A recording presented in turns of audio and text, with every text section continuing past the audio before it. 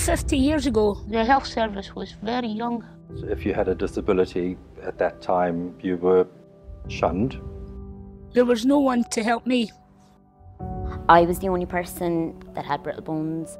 Mobility, or to be precise, the lack of it, is the greatest single problem facing young children suffering from brittle bones. We were incredibly isolated. It was a terrible time. My mum said, Oh, here's a little letter that size.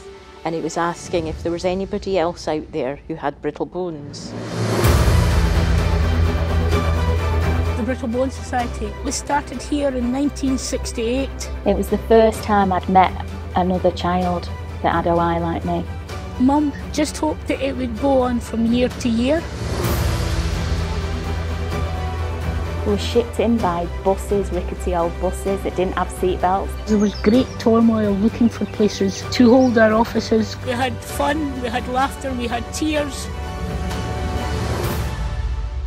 The Brittle Bone Society saved my life. I hope that people recognise the impact that one lady has had. And it was, for my parents, a lifeline. We never envisioned that it would last. People's attitudes have changed.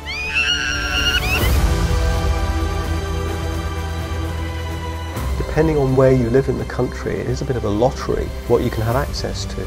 Suddenly finding Margaret Grant and realising other people had it was a huge support for them. It's made a big difference to the lives of a lot of children and their families. Here's to the next 50.